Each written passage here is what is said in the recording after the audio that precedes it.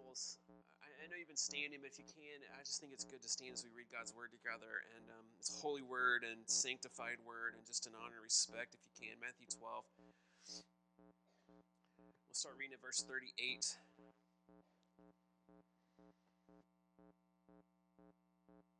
Pew Bibles and page numbers on the screen. Then some of the Pharisees and teachers of the law said to him, Teacher, we want to see a sign from you. He answered, A wicked and adulterous generation asks for a sign, but none will be given it except the sign of the prophet Jonah. For as Jonah was in was three days and three nights in the belly of a huge fish, so the Son of Man will be three days and three nights in the heart of the earth. The people of Nineveh will stand up at the judgment with this generation and condemn it, for they repented at the preaching of Jonah, and no one greater than Jonah is here. The queen of the south will rise at the judgment in this generation and condemn it, for she came from the ends of the earth to listen to Solomon's wisdom, and now one greater than Solomon is here. When an evil when an evil spirit comes out of anyone, it goes through arid places seeking rest and does not find it. Then it says, "I'll return to the house I left." When it arrives, it finds the house unoccupied, swept, clean, and put in order. Then it goes and takes with it seven other spirits more wicked, wicked than itself, and they go in and live there. And the final condition of that person is worse than the first. That is how it will be with this wicked generation. Um, some big words from Jesus this morning. Um, I think we're going to have a little of fun this morning. This is the word of God for the people of God. And you said, Thanks be to God. You may be seated this morning. Uh, let's pray one more time before we jump in. And I think God has a word for us, for me, for me, for sure. Let's pray. Lord, we, uh, we, we need you. And um, because without you, we're just not going to make it. And, and so, Lord, help us this morning as we look at these words, the pretty big words, serious words. And um, so, help us. God, help us. And God, nobody needs you now more than I do. And so, God, may the words of my mouth and the meditations of my heart be pleasing and acceptable to you,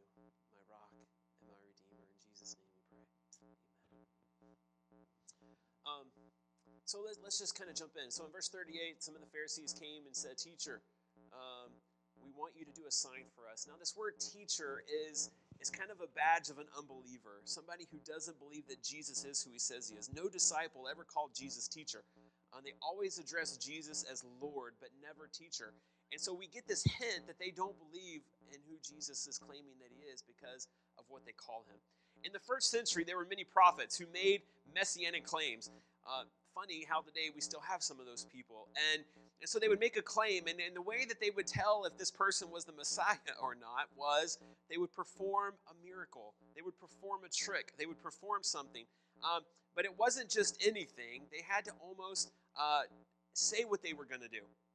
They had to say, This is what I'm going to do, and to prove that I'm Messiah, I'm going to make sure that it happens. And, uh, and so, uh, so, what do they want Jesus to do? They want him to um, to do something that's going to allow them and show them who he is. What are they asking Jesus to do? Uh, maybe you remember this commercial from a long time ago, but I think this is what they're asking Jesus to do. Um, let's play that. What's in the bag? Lunch. Big Mac, fries. Play you for it. You and me for my Big Mac? First one to miss, what does the winner eat? No dunking.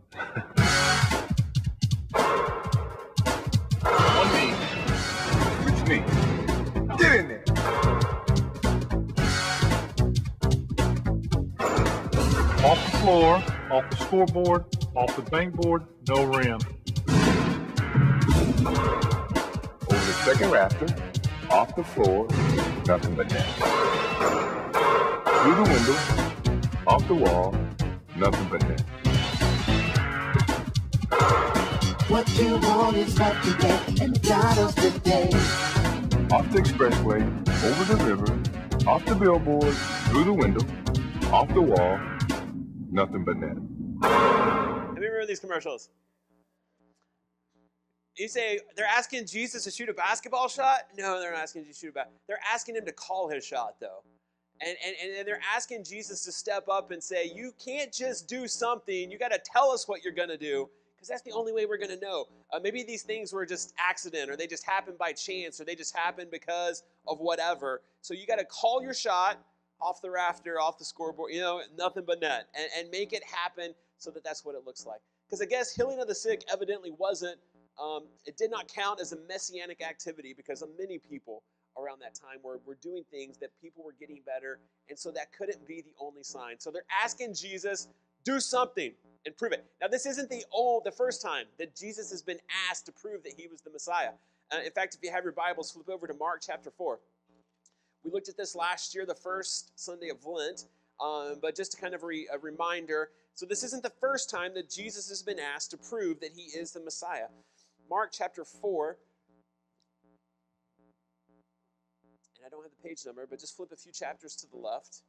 And it says this Verse 1 Then Jesus was led by the Spirit into the wilderness to be tempted by the devil. After fasting 40 days and 40 nights, he was hungry. The tempter came to him and said, If you are the Son of God, tell these stones to become bread. Now, this if is not the, the, the, the tempter or the enemy trying to see if Jesus really is. He knows who Jesus is. So it's not a matter of are you, but since you are the Son of God, what does it mean for you to be the Son of God? And what does it mean for you to live into that title and into that idea? And so there was this thought back then that when Messiah would come, all people would be fed and people wouldn't go hungry. In fact, if you look at Acts 2, that's kind of what they did is they, they just took care of people and they fed people.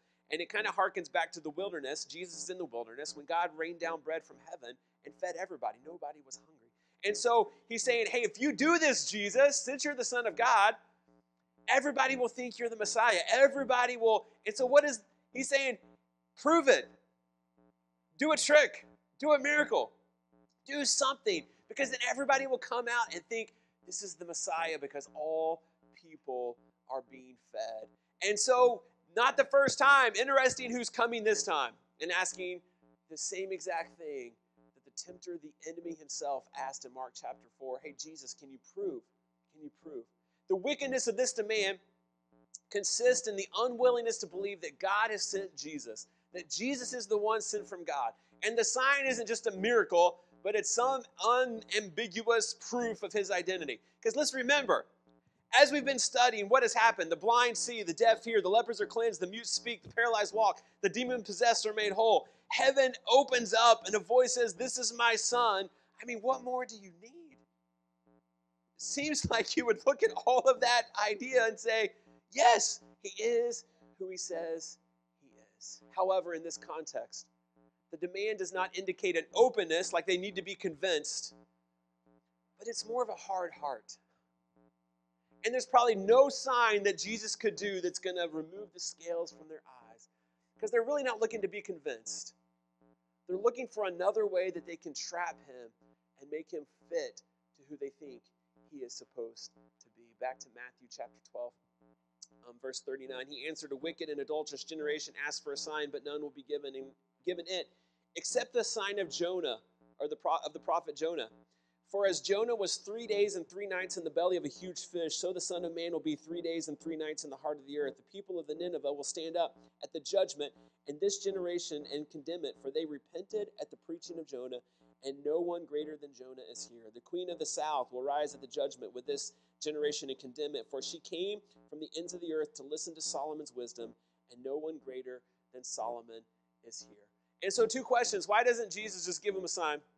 Second one, what's the sign of Jonah?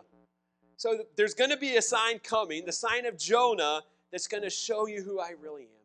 Jonah's stay in the sea monster is a foreshadowing of where Jesus is headed. The sign of Jonah, he says, is, is, is a foreshadowing of Jesus' three days in the belly of the earth and his resurrection. And, so Jesus saying, Don't worry, a sign's coming that's going to just blow you all away. It's going to be something like you've never seen before. Somebody who dies and is in the ground for three days and is resurrected from the dead. You want me just to do something cool, snap my fingers, eyes are open, or do something cool that, that, that is this proof? there's a sign coming that will let you know exactly where I come from and who I am. Something greater, Jesus says, may not, probably wasn't just talking about Jesus himself, but the kingdom and the movement that Jesus has set up, that people are coming and knowing more of who God is and who he's called us to be. Uh, his miracles weren't done for the sake of, of putting on a show. His miracles weren't done for the sake of, of trying to point to him. Listen to this. His miracles were because he had compassion on people. he saw people who were hurting, and he wanted them to be better. It, was a, a, symbol, an ushering in of the kingdom that he was setting up. Had nothing to do with, watch what I can do.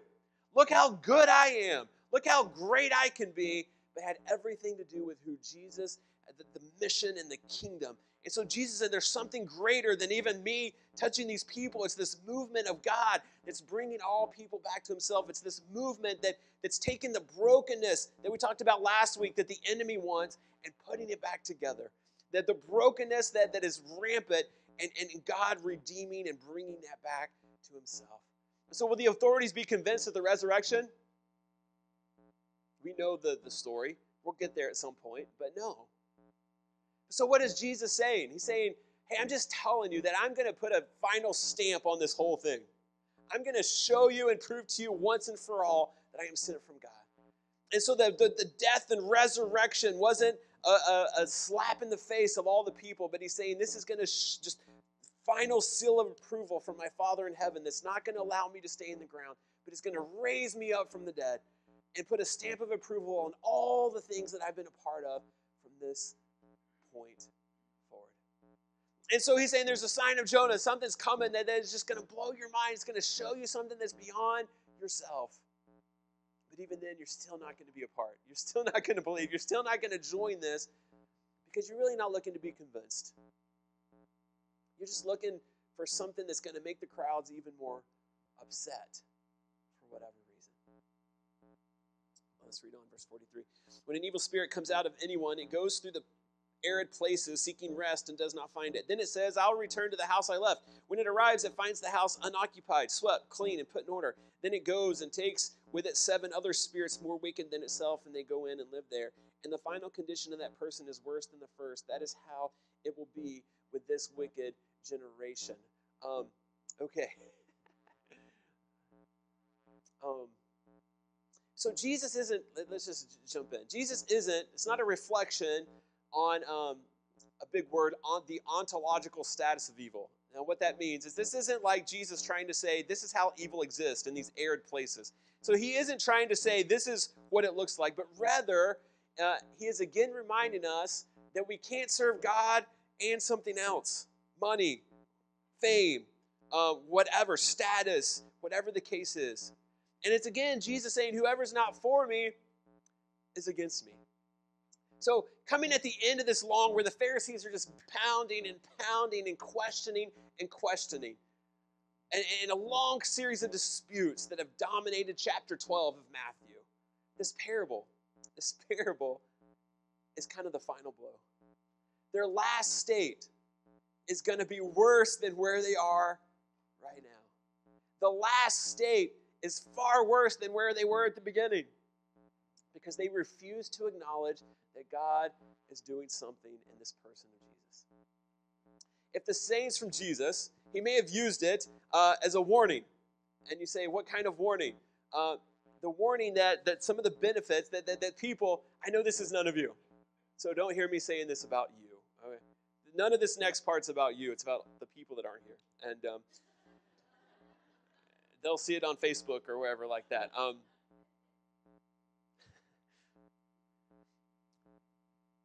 He's warning those people who want the benefits of Jesus' ministry without the commitment. It's the people who, who, who, who love the fact that Jesus can do all kinds of stuff, yet they're, they're still reluctant to say, You can have my life. Whatever you want. We like it when you do this, Jesus, and it's cool when you heal people, and I love it when you know when you touch blinded eyes, and that's awesome. But I'm still not ready to, to, to allow you to do whatever you want with my, my life. Um, so when Martin Luther uh, nailed his thesis on the door in Wittenberg and, um, and started this whole thing that we're a part of, and it was called the Protestant Reformation. for so long, we have uh, been known for what we are against because of this. We're the, we're the protesters, the Protestants. Uh, that's where our name comes from. And, uh, and so Luther nailed his protest on the door of the Catholic Church, and thus was born the movement of people who were against a lot of things. Uh, and, but there arose a problem when he hung that on there. Uh, there arose, started, and, and maybe it wasn't a big deal then, but it, it kind of became even a bigger deal, I want to say, like in the, the 50s and the 60s and the 70s of 1900, not 1700 when Luther did, but there became this problem in the church during those decades and probably before that. And I'm afraid that, that we at the church became more known for what we are against than what we're for. We, we, we, we, there was so much stuff going on. And listen, I'm not saying that I'm not I, am not saying that, that what they did was bad, but I'm saying that we can learn a few things as we look at history in the church and where we've come from and what it looks like. That, that there, there arose because of all the, the sex, drugs, and rock and roll and all the stuff that was happening in the 60s and 70s and free love and the whole deal. That, that what happened is we got to take a stand and be against all that stuff. And there's nothing wrong with that. I'm not standing here saying we should have applauded, okay? So don't hear that at all. But the problem is we, we were against so much, but we never said, but this is what we're, we're for. And so this word translated, um, empty, um, unoccupied in my version, uh, is in the ordinary Greek word is more than just um, than empty. Okay, it's more than just saying that there's nothing in the house and, and what that looks like. And, and, it's very unusual because we would say that empty is, is an adjective. It describes something. I'm not good at English, so if I mess this up, come tell me later. Not right now, but later. And um, but in Greek, it's not an adjective describing what the, the what is happening. It's a participle. Whew. Let's go home. That was that's it. That's all I got. And uh, no, it's a participle. Now, a, a participle, from what I understand, um, is, is you, you, add like ing onto the end of, of, something that describes something. And it's not just something that describes, but it actually has an action connotation. And it actually gives some type of movement uh, as opposed to just being empty. It's like there's something going on that causes it to be empty. Okay? Now, you're not getting blessed yet, and I understand. That's cool. Um, but so the Greek word, if you go to the next slide, is this word um, slazako or something like that. I can't. I didn't take Greek. And, and, and in essence, it means to be idle. It's not just idle, it's to be idle. Now, should we be against things? Of course. However, if we're not careful, if we don't allow people to see and show people what we're for, if we don't fill the void, the empty, left by things that we're against, then we might be worse off than we were before. I saw this quote and I didn't even mean to find it. It just kind of happened on me one day, and it's going to be on the screen by Hannah More, who lived in the 17th century. And she says this Life is a short day, but it is a working day. Activity may lead to evil, but inactivity cannot lead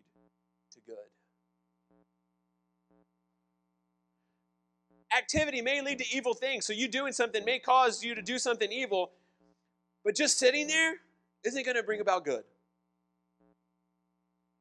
Um, so it's this action. It's not just this that God takes things away. This that God calls me to actually commit to something and, and be about something and do something. Um, if you have your Bibles, Micah chapter 6. Do I have that? Yeah, good. I have the page number on there. Micah chapter 6. I love this passage. Micah chapter 6. So the, the, the, prophet Micah is, is asking questions, and we've looked at this passage before, but it's so fitting with life and, and what it looks like. And so he says, What can I come before the Lord? A thousand bulls? No, ten thousand, no, a hundred thousand. Uh, can I come before him with it? For can I shall I offer my firstborn for my transgression, from the food, fruit of my body and sin of my body?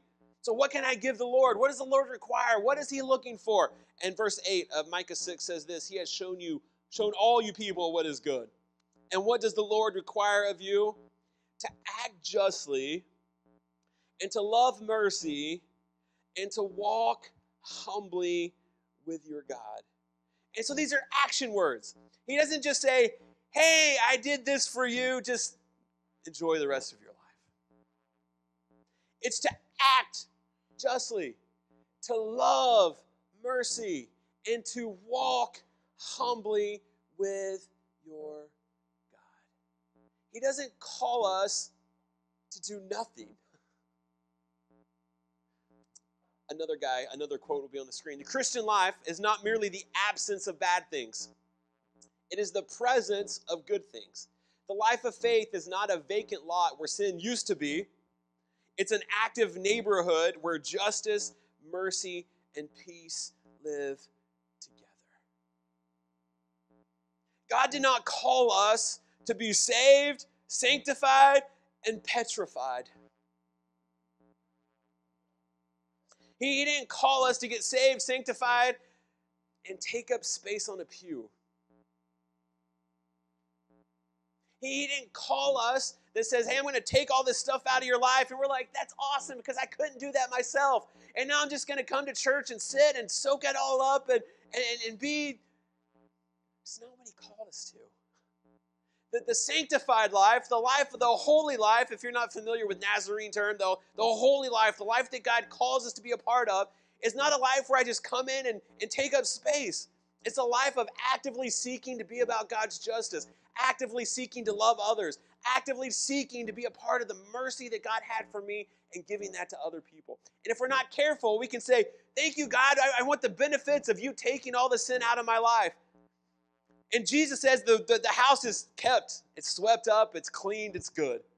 But if we're not careful, if we don't fill our lives with who God has called us to be, if we don't fill our lives with the holiness that He calls us to be a part of, then other things are going to come by and think, this is a nice house. And then he's going to go invite all his friends to come in and occupy because it's so nice and because it's been cleaned.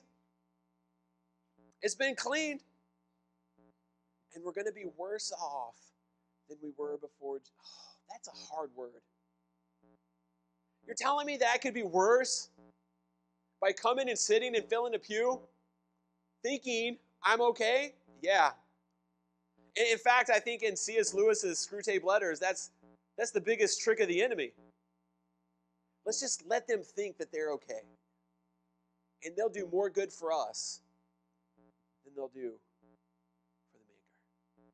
If we can just get in their mind, you're fine. You don't have to do anything else. You're fine. And, and then Wormwood and, and the other just had this conversation. And if we can get believers to think they're okay, then we've already won.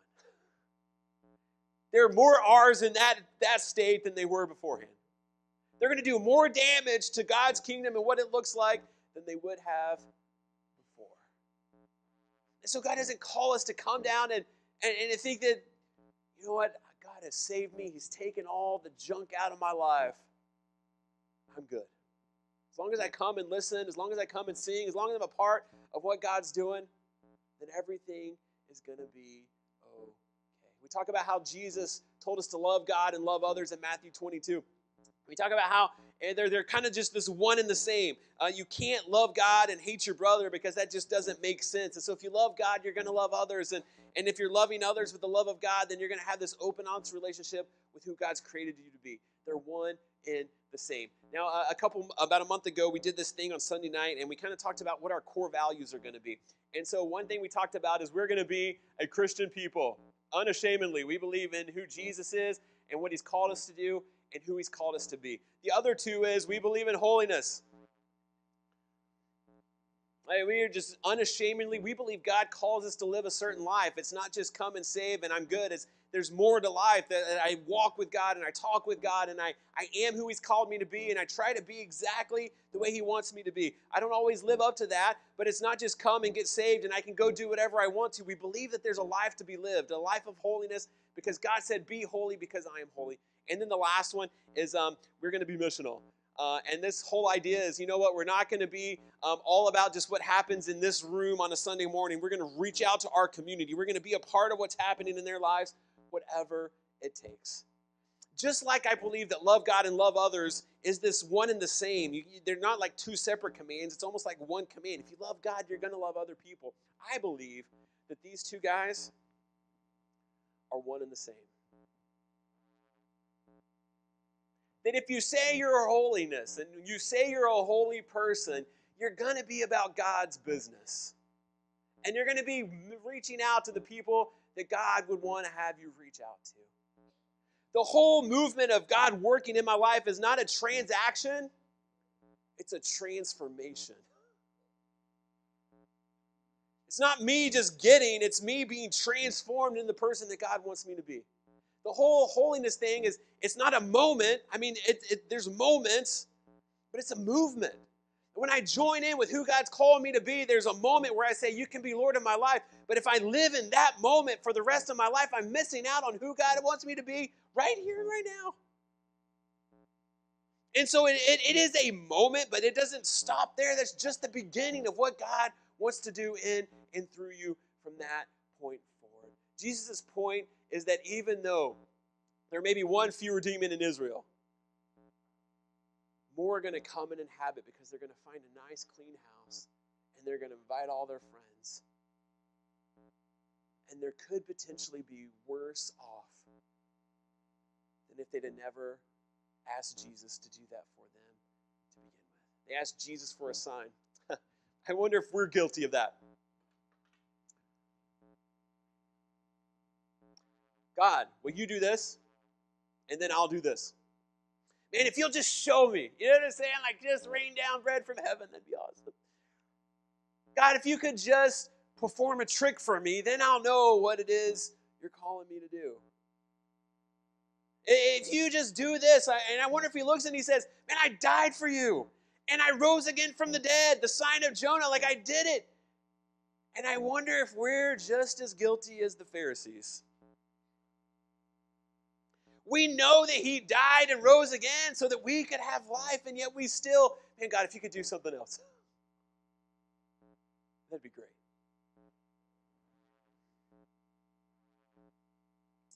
Have we been saved? Sure. But have we filled the space where our sin was, and now it's vacated? Have we filled it with the things that God wants I, I think that uh, we talked about it last week a little bit, but we can't get on these Pharisees because I feel like we're there a whole lot of the time. And maybe you're here this morning and you say, "Man, I, I God has He saved me." But I, I wonder if you are here this morning and you say, you know what, I, I've been saved, but man, I'm idle. I am not living. I'm not being. I'm not moving in the direction that causes me to be more like Jesus. I mean, we, we testified, and man, I, I believe this. Man, God has sanctified me. God has, has done something in my life. But you know what? I'm really not reaching out as much as, as I, I, sh- I, should, I should be. I, I come to church, that's awesome, and I hear about God and I sing and I, I do and, and, and I tithe and, and I'm a part of what this is. But man, every, the rest of the week is, is kind of my time. And I wonder if idleness has swept into your life and you think, man, I come and, and God has done something. I remember I can tell you the spot where I was when I prayed at the campground, at a retreat, at this altar. And you're living in that moment and you said man i did it. And, and i prayed the prayer and god saved me. It was, it was good. And, and you got up and and, and, and life just kind of because he didn't save you to take up space on a pew he saved you to be a part of his movement he saved you to be a part of his kingdom he saved you to reach into people's lives in the lowest place where nobody else will and he called you to be different to be about his kingdom. And if you're coming every week, we want you to be here. And, and so we can't look at this as this dualism. The disciples are good and the Pharisees are bad. Because if we're honest, we might have a little bit of each inside of us. And so we can't sit back and say, man, those Pharisees are evil. I need to step into this story. Is there anything in my life that's just idle? It's not seeking, it's not truly being everything that God has called me to be. Because I don't ever want to be at the place that I'm worse off than I was before Jesus did something in my life. I want to keep growing being more like Him and being more like Him. So, where are you? Um, as you look at your life, you know, we, we got to celebrate those moments when people get saved. We got to celebrate who Jesus is. And, and we need to remember the times that God's spoken in our lives, those Ebenezers, those big times where we put stones down and we remember. But if we're living in that that moment that happened 20, 30 years ago, last week, uh, yesterday, if I'm living in that moment and expecting that everything else is going to be okay, I'm missing the day by day transformation that God wants to have in me right now. I'm missing the exciting adventure that God has for me right now. I, am missing the, the, the people that I see every day that God could be asking me to speak into their life. But because I, am living in, well, I did it, Jesus. I, I said the prayer and, and things are good, and I'm, but I'm missing who Jesus wants me to be right now. Because if you're just holiness, I mean, you're just kind of like a holy club. The Pharisee club, we could call it. Oh no, we can't call it that. That's that's bad. Let's just call it what it is. Set apart for no good. And if we're just missional without the holy, then we we're just like every other, not every other, but a lot of other nonprofits who who do what they do, but aren't tied to the story of God and what God's trying to be about. In the world. We got to have a moment where Jesus does something in us. But we can't just stand up and throw grenades about all the stuff that we're against. We have to allow Him to fill us so that we can be for something His kingdom, His mission, His love, His grace, to act justly, to love mercy, and to walk humbly with our God.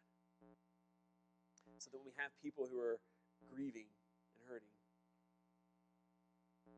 we don't just say, I hope somebody else goes.